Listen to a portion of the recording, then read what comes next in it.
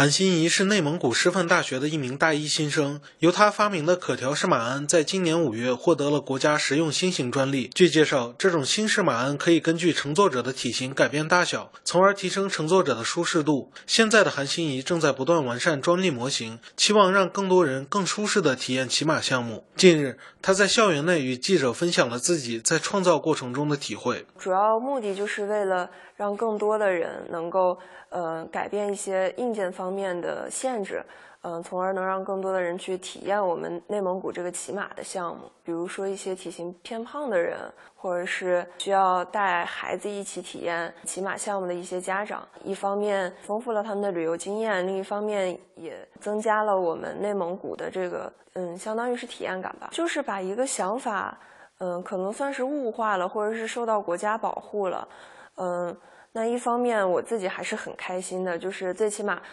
在国家层面给到了我一个肯定。那另一方面，我也希望可以通过我的这个一个。呃，小的成就能够激励更多的学生，能够把自己的想法真正落到实处。发明可调式马鞍后，韩欣怡也遭遇了一些质疑的声音。有人认为他的这种新式马鞍是对传统文化的一种改变，也有人认为他的发明并不实用。对此，他也有自己的看法。那有质疑肯定是很正常的一件事情了，因为。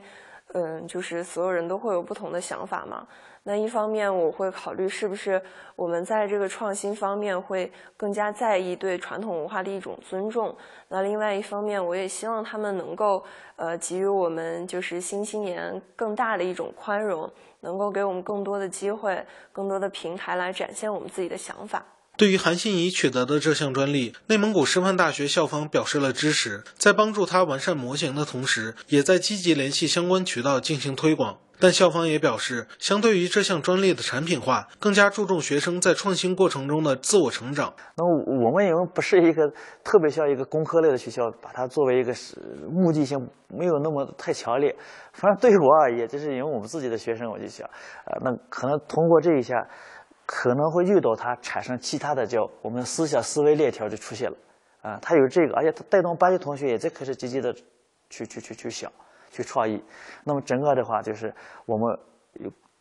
从这个从始至终一定是追求过程性的去唤醒培养，呃，要让他们有树立一种创新创业的这种理念意识。韩信怡向记者表示，希望通过他的成功经历，让更多人知道，如果有想法，就要勇敢的去实现。作为一名大一学生，韩信怡认为今后的路还很长，他也会不断完善自己的作品，不断挑战自己。希望他能够，呃，在更多的地方能够被使用。呃，譬如说我们云南的茶马古道啊，陕西的坝上草原，有很多地方也都，呃，和我们一样有骑马的这样的一个旅游项目，也有骑马的一个文化。那我们把这个东西投入到更多的地方，让更多的地方的呃